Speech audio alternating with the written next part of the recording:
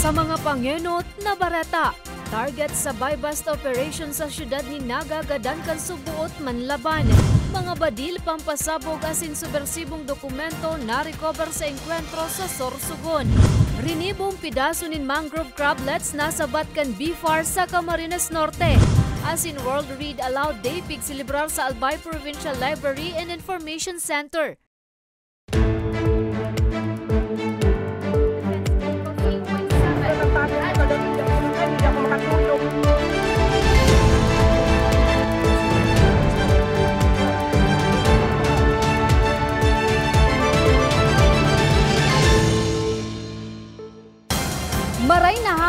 Hapon, Webes, Pebrero 2, taong 2023. Uninan mga baretang tatak Bicol. Madadamugman ang mga baretang ini sa 88.7, Radyo Uragon Katanduanes sa sin 90.7, Radyo Uragon, Ligaspi. Target sa buy-bust operation sa siyudad ni Naga. Gadan kan subuot manlaban. Lampas 300 mil pesos na kantidad ng tigtutubudang shabu. Na-recover. Detalye sa report ni Carmelo Balya. Dead on the spot ang target sa pigkasar na bypass operation sa syudad ni Naga matapos na subuot makipagribayan ng putok sa otoridad alas 10.30 kasubanggi. Binisto ang nagada na si Angelo Fernandez E. Galvez. Sigon kay Police Senior Master Sergeant Tobias Bungon, tagapagtaram Canaga City Police Office, nangyari ang ribayan ng putok sa Zone 4A St. Clair Barangay Concepcion Pequeña, kung sain ang tropa kan Regional Police Drug Enforcement Unit 5 ang nakaribayan putok ni Fernandez. Sa impormasyon, basang na sa nasubuot na nagbulnot nin Badil asin nagpaputok nin duwang beses ang sospek bilang pagdepensa. Nakiribayan man ang puwersa kan otoridad na nauli sa pagkagadan kan sospek. During the transaction, kan puso buyer sa si confidential informant, ang seller pong napagkasunduan is uh, uh, worth 15,000 pesos, karibay kan more or less 5 grams na shabu. And during the course of operation, during the course of bypass operation, kan magkaigwa na po nin uh, exchange of items, ano po, makonsummate na si Barakalan, nakaka-sense po ining subject, ano, na si Angelo Fernandez, kan magkaigwa ng pre-signal si sa tuyang puso buyer, kan mag-rush up na si mga, orati, mga operatiba sa sendang, ito mo sa lugar kung saan nangyari si bypass operation, Na-recover sa sospek ang kalibre 45 badil na may apat na bala, 50 gramo ng pigtutubudang shabu na nagkakantidad lampas sa 340 mil pesos. individual na involved sa illegal drugs, ano po, na mayo talagang maray na papadumana na sa tuyang involvement sa illegal drugs. Ano po. Ah, kayang ka sa tuyang mas magayon po mabuhay na libre, mayong problema sa luwas, ah, na mayo kitang kinakatakutan, mayo kitang pinaglilikayan, imbes na kita yan, ah, maging maray ang buhay, ah, na-aresto kita, nakakasuhan, nakukulong, nadideprive sa tuyang liberty because of our involvement sa illegal activities, urban droga. Asigurasyon ni Bunggon, padagos nindang papaigtingon ang operasyon kontra droga, ngani makortar na ang paglakop kaini. Para sa mga baretang tatak Bicol, Carmelo Balya. Mga badil, pampasabog asin mga subversibong dokumento na recover sa nangyaring enkwentro entre militar asin rebelding grupo sa Sorsogon. Detalye sa report ni Nomer Corporal. Tulos na nagkondusir ning combat operation ang puwersa kang gobyerno matapos na makaresibining sumbong dapit subot sa presensya ng mga rebelding grupo sa tri-boundary kang Barangay Vicente Grande Daragalbay, Barangay Katamlangan asin Pinaslog sa Pilar Sursogon, alas 8 ning aga kasudma. Sa pag-abot kang pinagsarong puwersa kang 31st Infantry Battalion, Regional Mobile Force Battalion, Pilar Municipal Police Station, asin personalize kang Albay Police Provincial Office sa nasabing lugar. Nakiribayan ning putok ang mga pigtutubodang miyembro kang CPP-NPA Terrorist Group. Sigun kay Captain Frank Ronaldo kang 9th ID Infantry Division Philippine Army, nagdurar ning labi 15 minutos ang ribayan ning putok. Na-recover sa lugar kang enkwentro ang duwang M16 rifles, duwang anti-personnel mines, sarong molotov, sampulong cellphones, asin mga propagandang dokumentos asin iba pang personal na mga gamit kang rebeldeng grupo. Sa tayo malapit doon sa lugar, ano, yung nagkakandak ng ating ah, community support program. Ah, At meron niyang nag-tip na mga civilian o miyembro ng komunidad na meron daw presensya ng uh, NPE doon sa lugar. Kaya agad naman inaksyonan ito ng ating mga kasundaluhan kasama ng kapulisan na nagresulta nga sa ah, isang ah, encounter. Maswerte man na daing nadanyaran sa buhay kang puwersa kang gobyerno, asin kang rebeldeng grupo maging sa mga sibilyan. Ah, fortunately, wala naman na ano, wala namang nasaktan doon sa government forces. Ah, samantalang sa kabilang uh, Sherpa, hindi pa namin ano, hindi pa namin ma-determine sa ngayon. Ah, patuloy pa namin tinutugis kasi meron mga blood stain na naiwan doon sa lugar. Sigun kay Rolando, ininang ikalimang enkwentro na naitala sa reyon, kabali na ang tulong enkwentro sa nasambit na probinsyang unya na taon. Para sa mga baretang tatak Bicol, Nomer Corporal.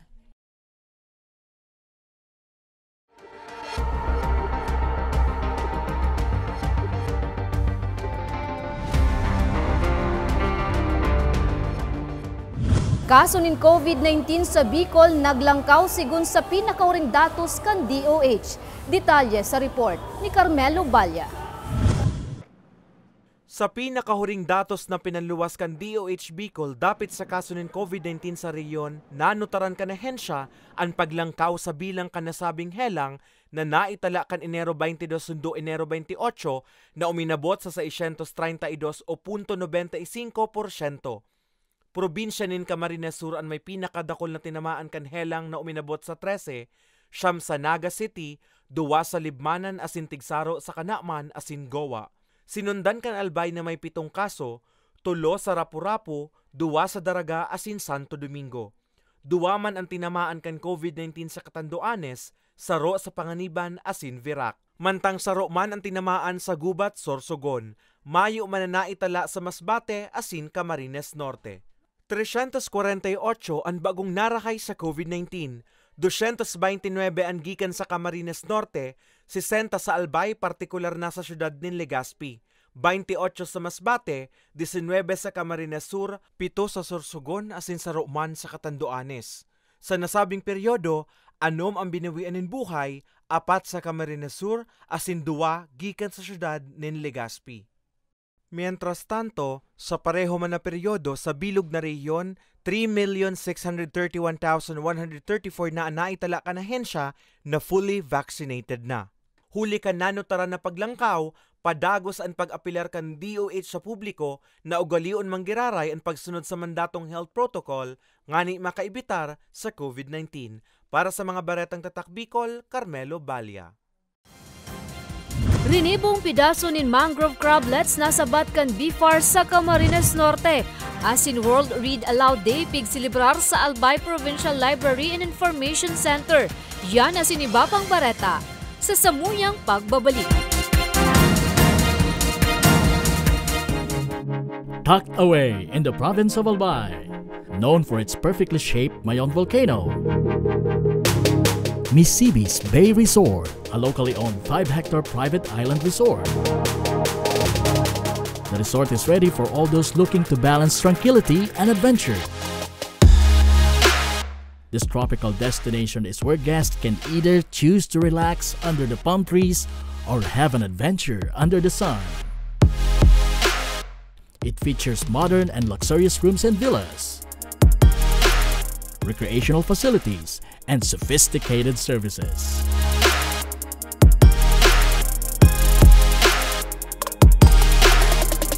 Come and experience Mississippi's Bay Resort, your tropical island getaway.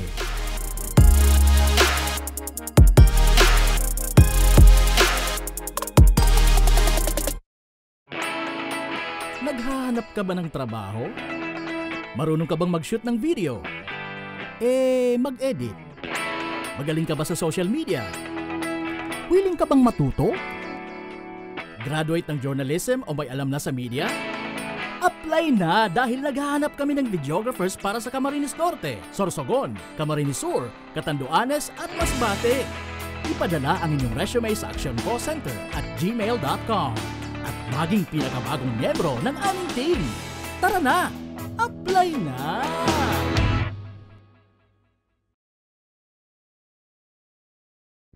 Sa imong ka nagpapadagos na pandemya, daima nag-uuntok sa pagriparo ang satuyang satiring partido An Ako Bicol Party List, yaon pirmi sa pagpadangat kan mga kasaraditan. Sa tabang kan manto ni ina, ano man na panahon, hain ka man sa kabikulan. Viva la Virgen! Viva Nuestra Señora de Peña Francia!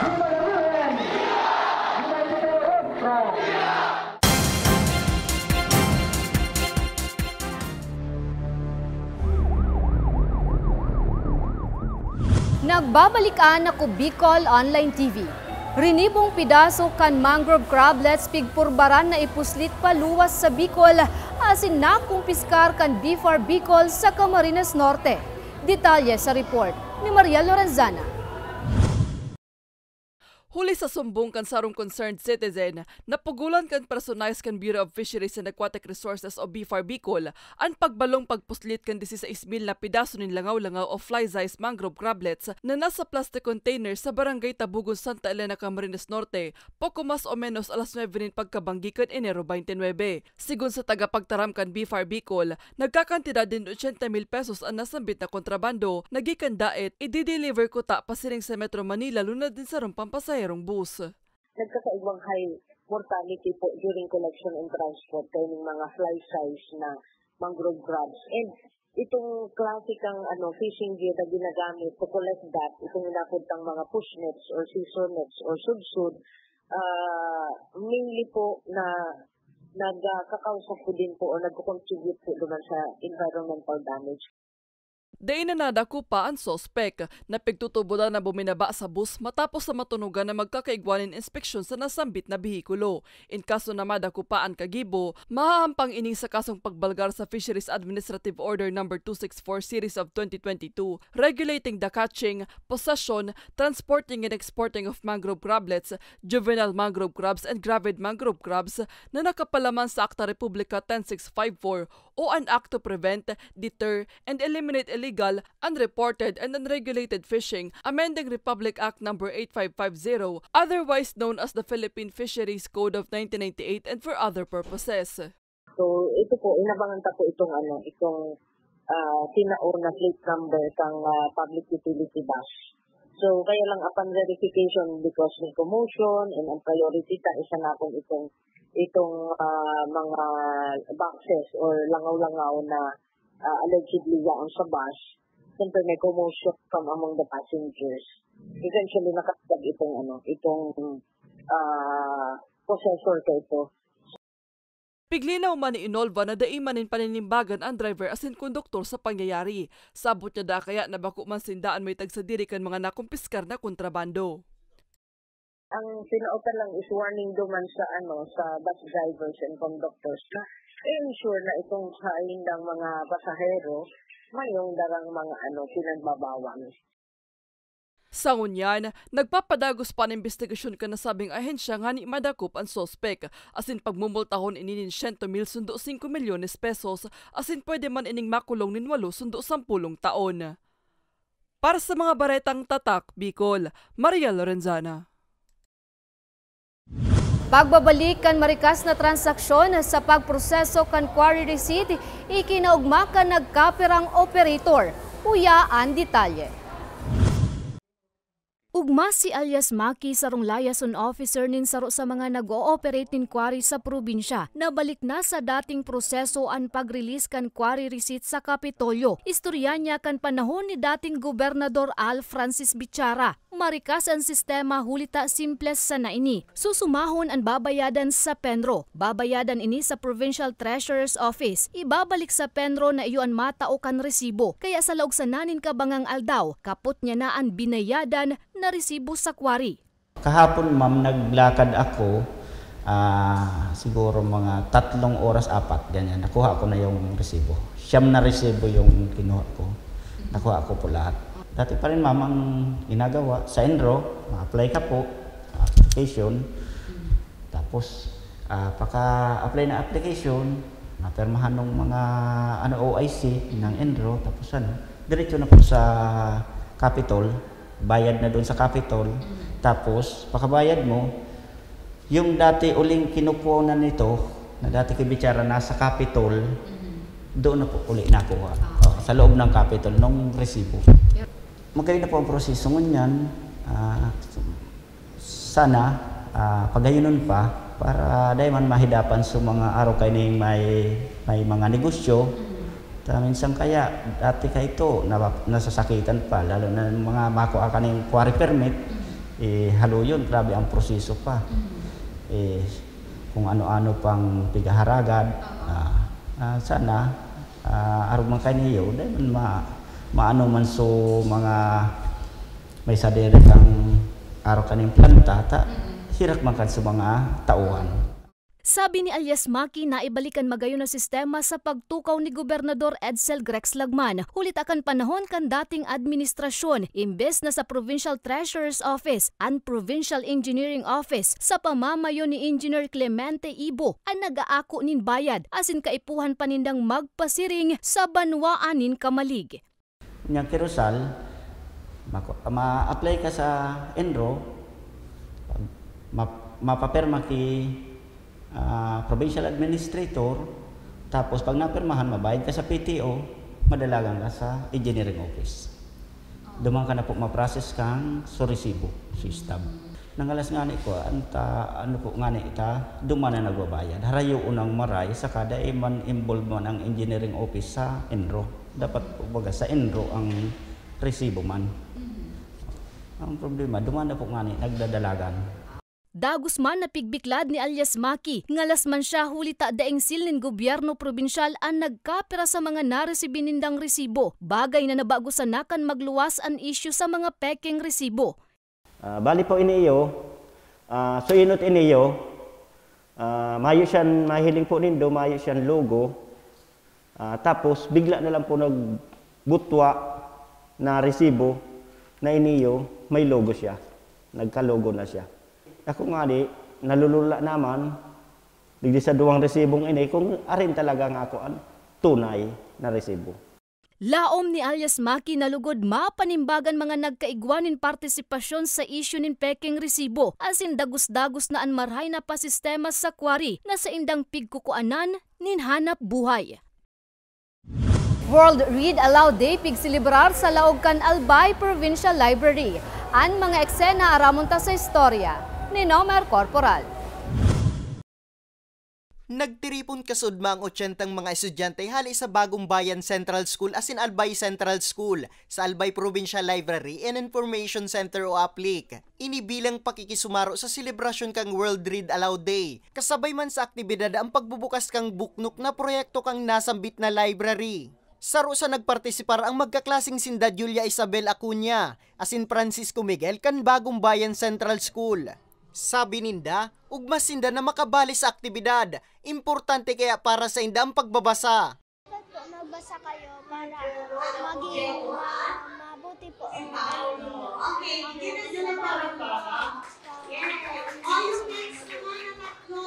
Nakatulong po ito sa akin sa pag sa pagbabasa ng mga English, sa mga Tagalog, at ibang mga language, at, at, at marunong sa pagbabasa po sa pagsasagot ng mga ibang mga questions.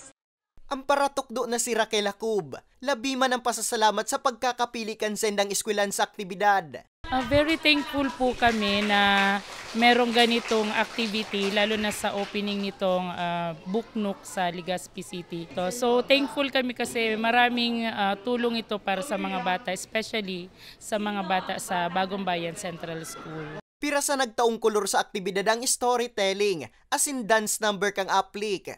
Sigun kay Amelin Bautista ang pamayo kang aplik, taon-taon ninda ining pigigibo. Ngunya na taon, may tema ining Read Aloud Change the World, na ubhetong mapabaskog ang kaisipan kan mga estudyante sa paagi ning pagbabasa. Uh, gusto namin ulit i-invite sila kasi na na-stop yan ng nag-pandemic and nag ano kami na nasa nag focus po kami doon lang muna sa mga adults kasi yun ang may mga um, kumbaga vaccination card.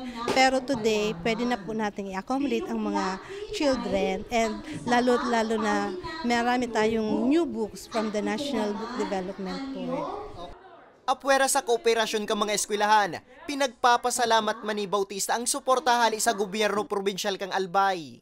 We are very thankful sa ating provincial government of Albay family, lalong-lalo na po sa ating governor at sa ating vice governor.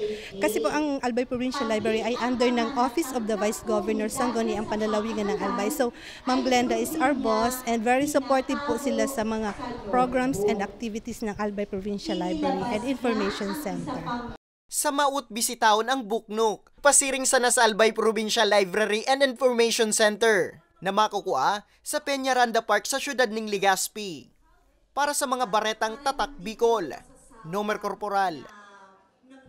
Asin yan ang katripunan kan mga baretang tatak Bicol. Ako si Jen. Salamat!